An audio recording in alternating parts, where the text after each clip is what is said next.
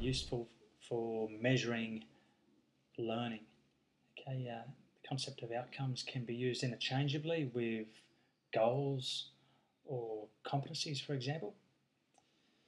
To access outcomes, logged in as either the administrator or teacher in a course, go to the settings block, course administration, outcomes.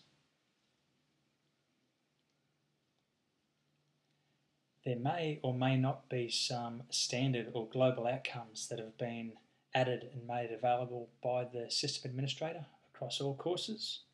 In any case, a teacher can come into a course and add their own outcomes.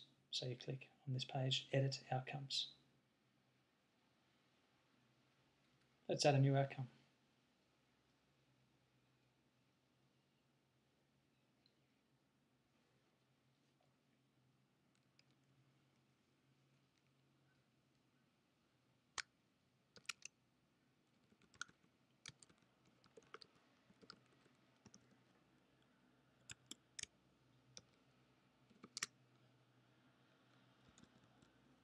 So we give the outcome a full name, a short name, which may be some sort of code, and then we can align the outcome with a scale. It could be a standard or a custom scale that may already exist or could be added.